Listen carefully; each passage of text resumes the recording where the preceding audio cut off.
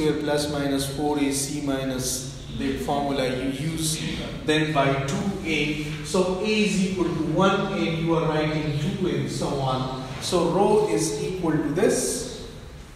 And now we will write that if I write this one is plus like I write the value plus for rho then it will be half and 1 plus 2l plus 1 and this will be equal to 2l plus 2 and you take 2 as common it will be cancelled and you will get l plus 1 similarly rho minus will be half and 1 minus 2l minus 1 and it will be equal to minus l. So you've got the two powers, the two values of rho. Rho plus and rho minus. So I can write now that u is the solution of this equation and u r to the power rho. So I will write that now the solution of the equation u of r, this is equal to a times r to the power rho plus and plus b times r to the power rho minus. Got it? Look here. This u is the solution of this differential equation. Okay? Understand this one. This is a differential equation. The solution of this equation will be u of r or u will be the solution of this. U is, we suppose that it is equal to r to the power rho. Now we got the value of rho, that rho is, this is a second order differential equation. So rho got two values.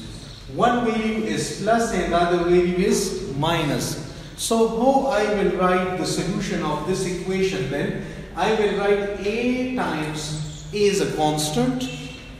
A times R rho plus plus B times R rho minus. This will be the solution. And I wrote it like this. And now put the values of rho plus and rho minus. So U of R is equal to A R to the power L plus 1 plus B R to the power minus L. Clear? So why we have supposed R raised to power rho in particular? Can't we suppose anything else? Now you know about the power series law. What you do in power series? You suppose x to the power n and then its first derivative, its second derivative you put in the equation and that is the solution of it.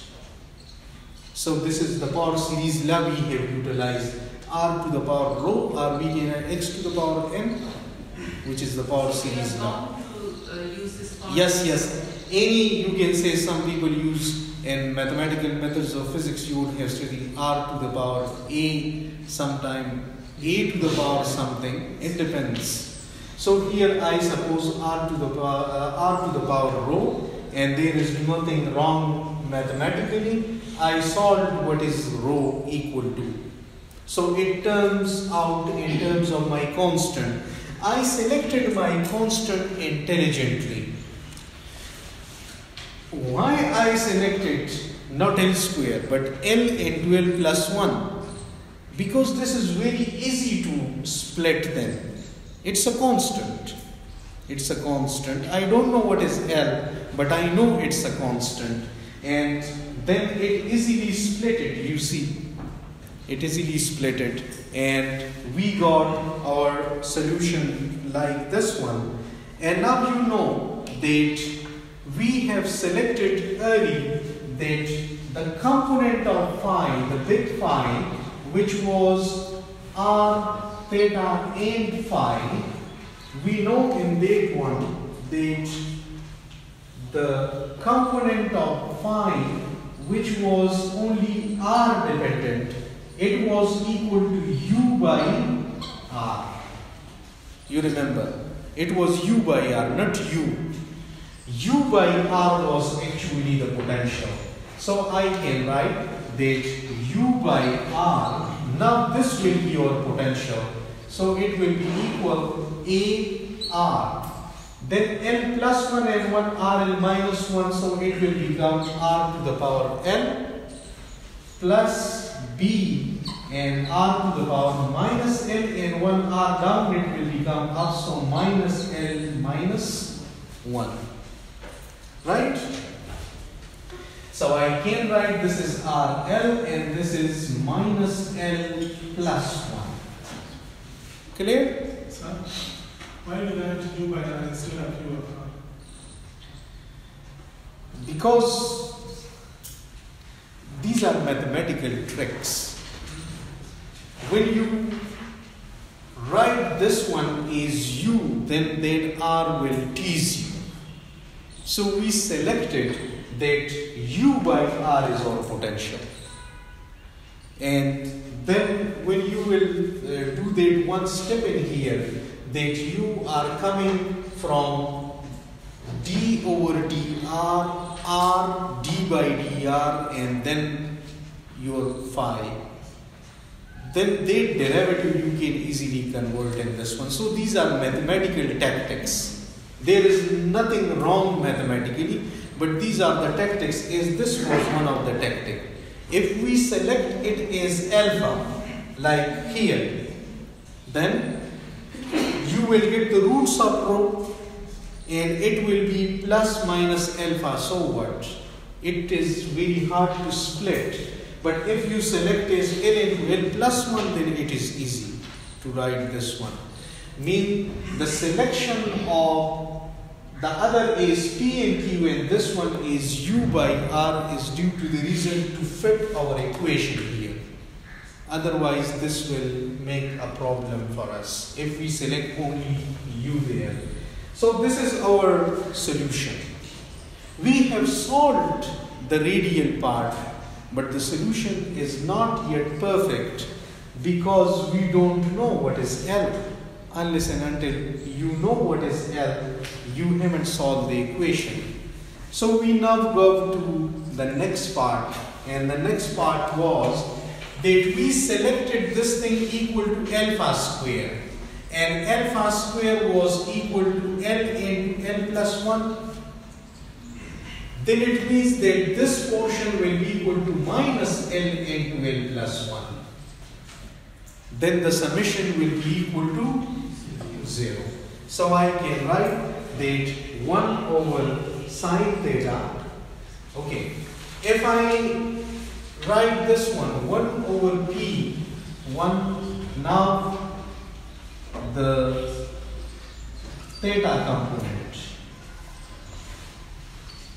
The theta component is 1 over p sine of theta and d by d theta sine of theta dp by d theta and minus m square over sine square theta this whole thing will be equal. This will be equal to this and I can rearrange this one by multiplying by p and bringing this one inside. So I can write 1 over sine theta d by d theta sine of theta dp by d theta and plus L into L plus 1 minus m square by sine square theta and this whole I multiply with p and equal to 0. Can I write like this? Look here. You multiply by p, so it will be 1 over sine theta, this one is done. p will be multiplied with this, p will be multiplied with this. When this will come here, it will become plus, so it is plus here, and p is multiplied with it. This is minus, p is multiplied with it. Clear? So we just reshuffled this equation. And now you will see another mathematical tactic that how we will be able to uh, reduce or make this equation into a simpler form. Let's say I write that x is equal to cos theta. You know x is equal to r cos theta. If I take r equal to 1 here, so I can define x equal to cos theta and then I can write that d by d theta. Can I write the chain rule in dx over d theta and d over? Can I write d by d theta like this? Because these are simplified and d by d theta. Now for dx over d theta, I can write minus sine theta d by dx. Clear? So then I can write if I multiply this with sine theta.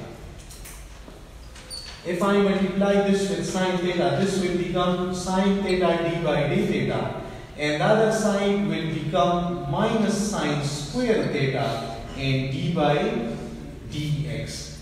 Now I can write minus sine square theta, I can write 1 minus cos square theta. So 1 minus cos square theta and d by dx.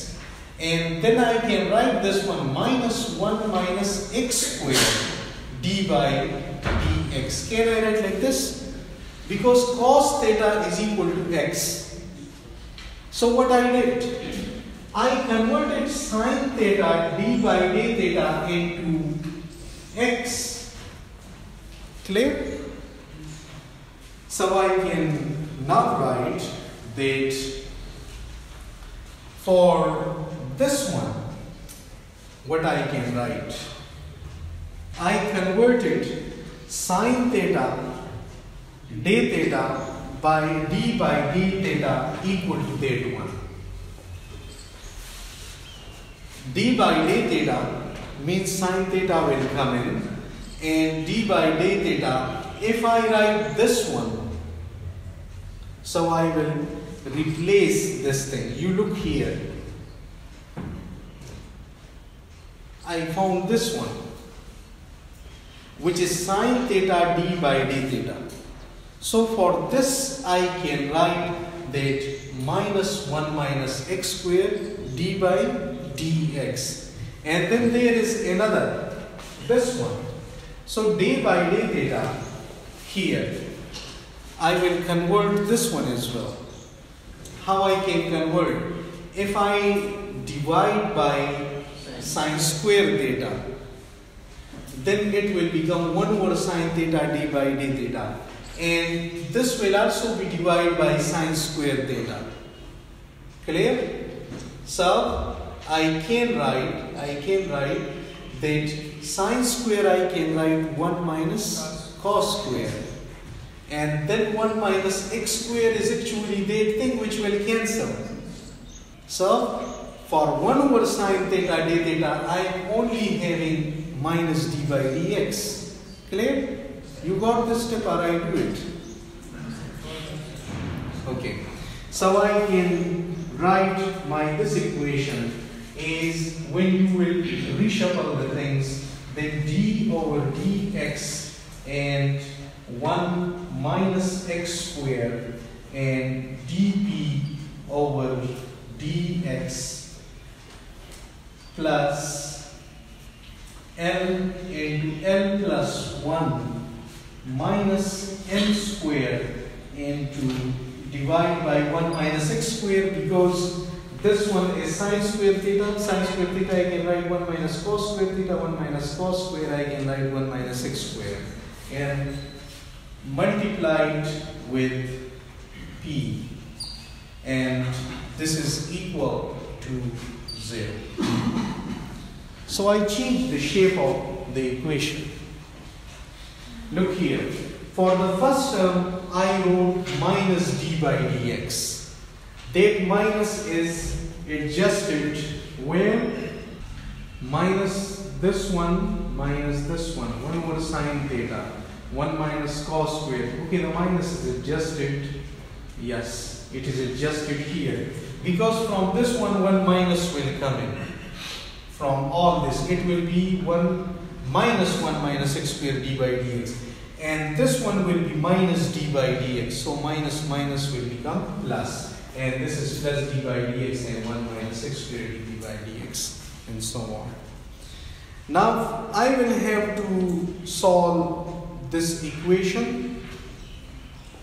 And this equation is yet very hard to solve because here is m and here is l both are unknown so if I will say that if the potential that I am solving potential is azimuthally symmetric. Is meant by azimuthally symmetric? Phi is constant. Means phi is constant is you go over the azimuthal angle. Right? If phi will be constant, it will not be depending on m. I will say for the azimuthally symmetric, I can write m is equal to 0. Means there is no phi dependence because m is actually our 1 over q d square q by d phi square. So if my potential will be azimuthally symmetric, means on all the azimuthal angle it will remain the same the circle I plotted, if on all the points of the circle, given circle, it is same, then I will say my potential is azimuthally symmetric. Not this, not on the above circle of this one.